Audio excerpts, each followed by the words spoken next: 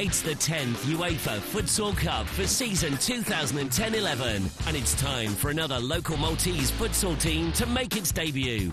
Watch all the action as local champion ZC XS Futsal battle it out in the preliminary round Group B against FS Tampere of Finland, BGA Futsal of Denmark and KF Tirana of Albania. The 10th UEFA Futsal Cup preliminary round Group B exclusively on Melita Sports.